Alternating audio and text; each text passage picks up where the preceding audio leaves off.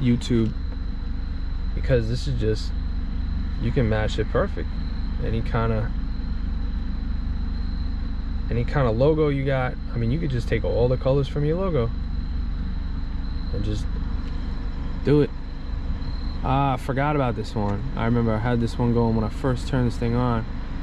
This one is really different.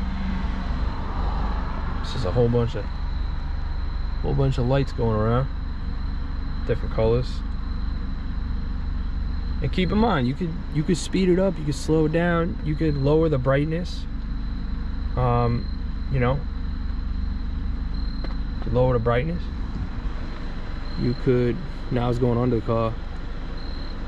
So this is actually my app is actually changing what's going on under the car too. See, I got green and red and blue or whatever it is, blue, green, and red.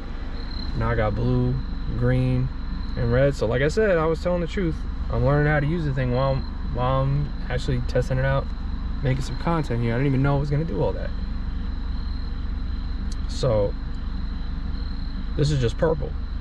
So I got purple on the door, and now I got purple flowing, moving under the car. So that is pretty cool. So yeah, this is definitely a good time if you're just hanging out with your friends. I mean, it doesn't have to be business. I know I'm talking all about branding and doing your logo color for YouTube. That's emerald green. We got red. Doesn't have to be business. I mean, you could you could definitely just bring this thing out